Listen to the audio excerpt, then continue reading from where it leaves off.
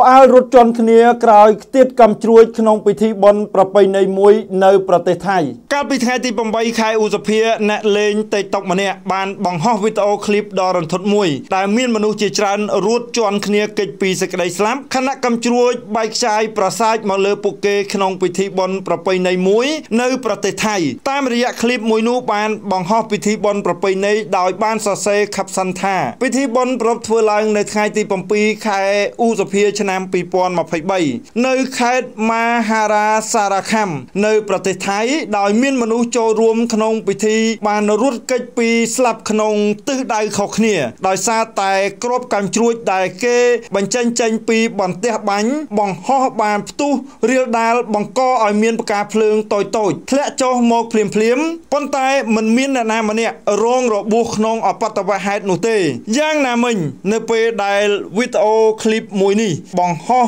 ពាពេញបណ្ដាញសង្គមអ្នកលេងអ៊ីនធឺណិតជាច្រើនបានបញ្ចេញមតិដោយខ្លះថានេះជាគ្រោះថ្នាក់ណាស់ខណៈព្រឹត្តិការណ៍បែបនេះត្រូវបានរៀបចំនៅក្នុងតំបន់សហគមន៍ក្បែរផ្ទះប្រជាជនដែលនាំឲ្យមានអគិភ័យកើតឡើងគ្រប់ពេលវេលា PH Electronic មានលក់និងជួសជុលម៉ាស៊ីនព្រីនគ្រប់ប្រភេទអាស្រ័យស្ថានតាមបណ្ដោយផ្លូវម៉ៅស៊ីតុងជិតសាលាសន្ធោមុខទំនាក់ទំនង098 34 56 31